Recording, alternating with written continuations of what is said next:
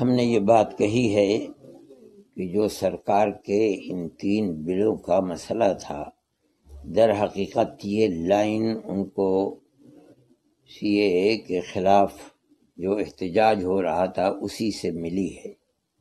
उनका एहतजाज शाहीन बाग के अंदर, कलकत्ते में, लखनऊ में और दूसरी जगहों के ऊपर कई कई महीने चला जिसके अंदर मर्द और औरतें सब के सब शरीक हुए। कोरोना वायरस की वजह से वो चीज़ ख़त्म हो गई।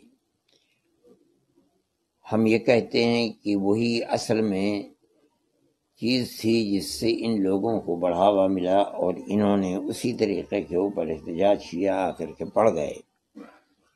मैं नहीं समझता हूँ कि हिंदुस्तान की तारीख के अंदर कोई ऐसा इतना लंबा एहतजाज होगा जैसा कि ये हुआ।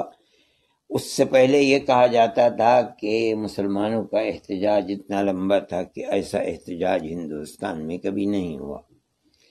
आज इलेक्शन चूँकि करीब है, इसलिए समझा ये जाता है कि इलेक्शन की बुनियाद के ऊपर इस बिल को वापस लिया गया है। हम ये समझते हैं कि ये तो कारोबार से मुतक़ चीज़ थी और वो हिंदुस्तान की नेशनलिटी से मुतक़ चीज़ है और उसका बड़ा भारी नुकसान मुसलमानों को उठाना पड़ेगा। अगर खुदा नखास्ता वो कानून अपनी जगह पर रह गया।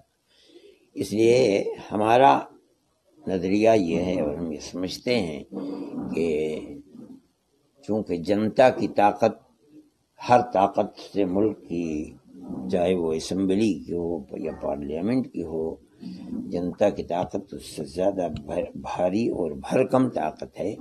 इसलिए मुसलमानों के सिलसिले के अंदर भी इस बिल को वापस